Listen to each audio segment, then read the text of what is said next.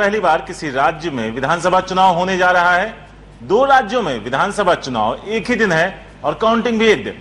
जहाँ एक तरफ़ बीजेपी के लिए चुनौतियाँ हैं, वहीं दूसरी तरफ़ कांग्रेस के लिए चुनौतियाँ कहीं ज़्यादा है। फ़ौरन पार्टियों ने अपने अपने दावे शुरू कर दिए।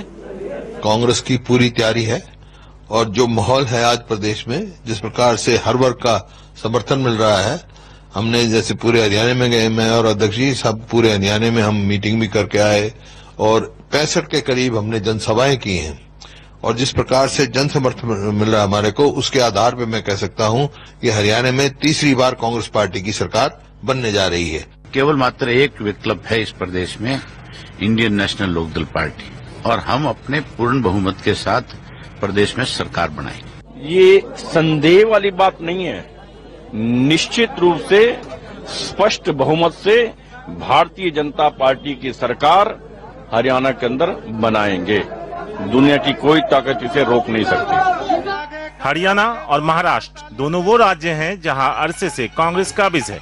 हरियाणा में वो 10 साल से हुकूमत कर रही है, जबकि महाराष्ट्र में 15 साल से कांग्रेस और एनसीपी की साझा सरकार है। इसलिए ये बड़ा सवाल है कि क्या दिल्ली की कुर्सी खोने के बाद कांग्रेस के ये किले भी बिखरेंगे? दोनों राज्यों में सत्ता विरोधी रुझान इसकी एक वजह हो सकता है, लेकिन उससे बड़ी वजह दोनों राज्यों में सत्ताधारी दलों में अंदरूनी घमासान है। हरियाणा में मुख्यमंत्री हुडा के ही खिलाफ कांग्रेस के कई बड़े नेता पार्टी छोड़ चुके हैं, जबकि महाराष्ट्र में कांग्रेस और एनसीपी अक्सर विरोधियों की तरह लड़ते और एक दूसरे पर आरोप लगाते नज़र आए हैं। महाराष्ट्र में सीटों के बंटवारे पर भी कांग्रेस एनसीपी में तनातनी है। पंद्रह साल से हम महाराष्ट्र में सरकार चला रहे हैं मिलजुल कर केंद्र में भी साथ हैं हम तो वो सिलसिला चलता रहेगा। हालाँकि सीटों का झगड़ा विपक्ष में भी है। विधानसभा में ज़्यादा बड़ा हिस्सा लेने वाली शिवसेना को इस बार बीजेपी से सख्त मोलतोल करनी पड़ रही है जबकि हरियाणा में बिश्नोई से कांग्रेस का तालमेल टूट चुका है और हरियाणा में बीजेपी की पहली लिस्ट के बाद पार्टी में बिल्कुल बगावत जैसे हालात हैं।